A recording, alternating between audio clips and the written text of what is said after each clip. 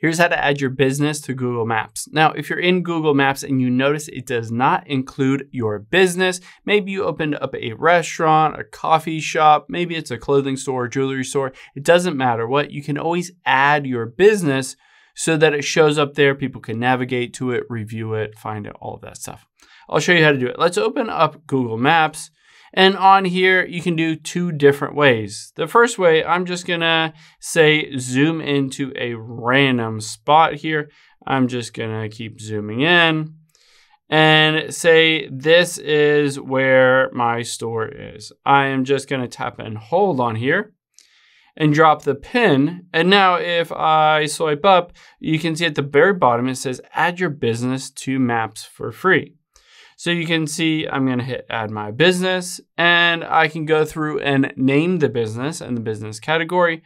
So on here, I'm just going to type in Trevor's Treats and let's use that. And then business category, let's just say dessert, dessert shop is pretty good. So now I'm going to hit the next button and it will say, do you want to add a location? This is essentially adding your business location to Google Maps. I'm going to hit yes and next here.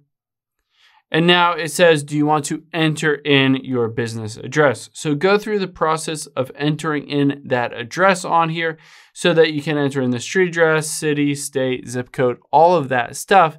And essentially what this will do is it will find that location and add a pin to the map so that anytime somebody goes there, they can see your restaurant, your bar, whatever it may be, and go to your business. So just go through the steps. You can also add your hours, photos, all of that stuff so that it fills out your business category or business profile on Google Maps. Hope this helps. If you have any questions on that, leave them in the comments down below, and I'll catch you on the next one.